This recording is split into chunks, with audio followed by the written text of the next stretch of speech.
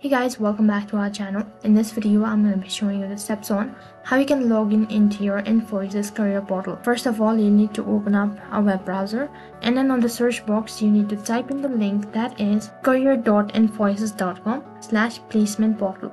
I'll also make sure to leave the link on my description box below. Once you type in the link, you'll be taken to this kind of interface. So on this interface, what you'll need to do is you need to provide in your user ID and a password associated with your Infosys account. As soon as you're done entering your user ID and in password, at the bottom you have a CAPTCHA, which means that you need to enter these above statements right at the bottom in order to verify that you're human. And uh, after you're done entering your information, click on login. And if the information provided is valid, then you will successfully log in into your account. But if you have provided some invalid information, then you'll be asked to recheck the information provided despite of trying for several times.